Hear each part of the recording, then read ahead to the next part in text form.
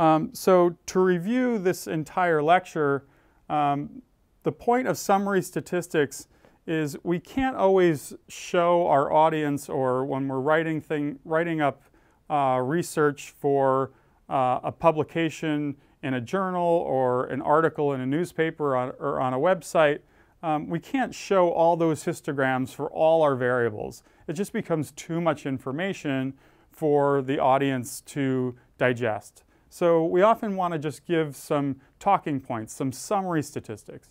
And the most common summary statistics are measures of central tendency, and the most common one of those is the mean or average, but you might want to do median in the case of extremely skewed distributions.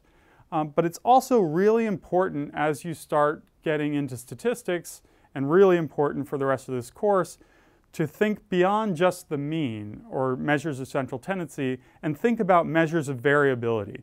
Variance is going to be a really important concept as we move forward. So it's important that you understand how to calculate standard deviation and variance, and it's important that you understand conceptually what standard deviation and variance mean and what they convey. Finally, uh, it's important that you know the following formulas um, and that you could just do these by hand. Of course, we're going to do all our calculations using the R software. Uh, it's less error prone and a lot faster and, and convenient, right?